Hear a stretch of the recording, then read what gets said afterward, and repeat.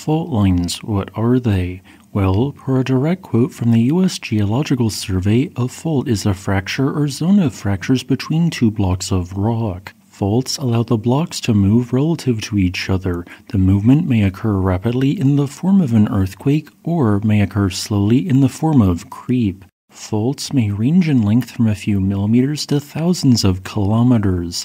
There are four main types of fault lines which are as follows.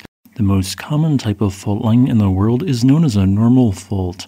In a normal fault, vertical movement occurs due to regional extension as the footwall moves upwards when compared to the hanging wall. In a reverse fault, the exact opposite is the case due to regional compression. However, reverse faults only describe fault lines which have a highly vertical dip of more than 45 degrees where the footwall moves downwards when compared to the hanging wall. In contrast, thrust faults are essentially reverse faults except they have dips of 45 or less degrees. Strike slip faults involve primarily horizontal instead of vertical motion. When viewing along the axis of a strike slip fault, if the right hand side is moving towards you, it is a right lateral strike slip fault, but if the left side is moving towards you, it is a left lateral strike slip fault.